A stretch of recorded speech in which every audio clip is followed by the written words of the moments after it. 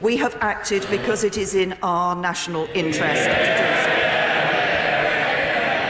It is in our national interest to prevent the further use of chemical weapons in Syria and to uphold and defend the global consensus that these weapons should not be used. For we cannot allow the use of chemical weapons to become normalised, either within Syria, on the streets of the UK, or elsewhere. So we have not done this because President Trump asked us to do so.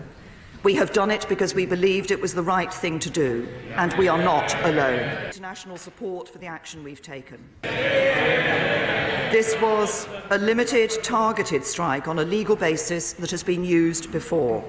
And it was a decision which required the evaluation of intelligence and information, much of which was of a nature that could not be shared with Parliament. We have always been clear that the government has the right to act quickly in the national interest. I'm absolutely clear, Mr Speaker, that it is Parliament's responsibility to hold me to account for such decisions, and Parliament will do so. But it is my responsibility as Prime Minister to make these decisions, and I will make